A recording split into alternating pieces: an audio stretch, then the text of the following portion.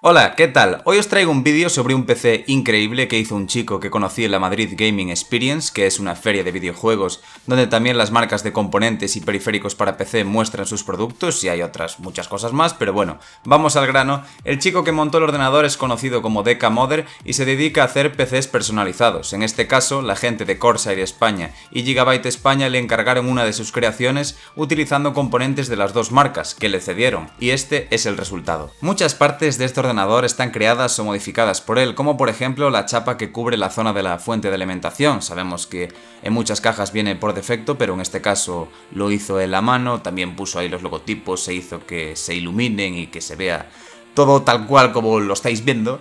Y modificó, por ejemplo, también el depósito de la refrigeración líquida que estáis viendo en la parte frontal del ordenador, pues también le puso los logotipos y lo hizo todo a mano o a máquina, creo que se entiende. El caso es que hay cosas hechas o modificadas por él y es realmente sorprendente lo que este chico es capaz de hacer y por eso creo que vale la pena hacer este vídeo para mostraros este ordenador. No voy a profundizar demasiado en los detalles que están hechos por él a mano porque realmente no me acuerdo de todo. Os diré alguna cosilla, pero si queréis investigar, os interesa más el tema del modding y tal, pues no os preocupéis. En la descripción os voy a dejar un vídeo que hizo él donde veis todo el proceso de montaje y también lo tiene un post donde podéis leerlo y demás.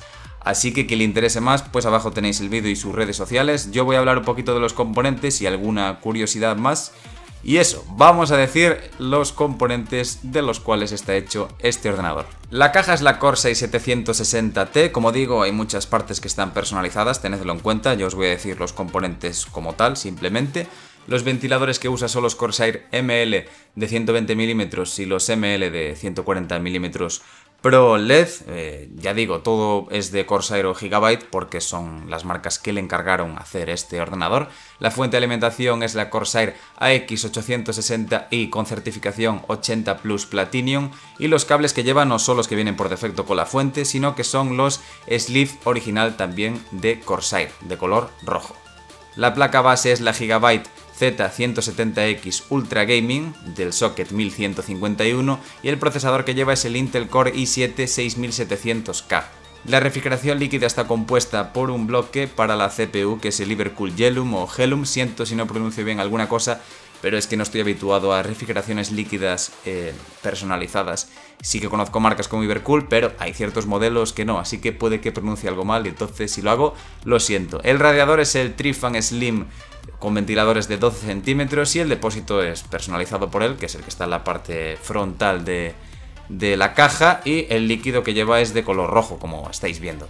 Como memoria RAM tenemos 32 GB a 3000 MHz de la marca Corsair y el modelo es el Vengeance LED de color rojo. Como veis tienen ese efecto de respiración que queda muy chulo. La tarjeta gráfica es la Gigabyte GTX 1080 Gaming G1 y como discos SSD tiene 3 Corsair Neutron XTI de 960 GB, que bueno, digamos que son de pero no tiene la capacidad total.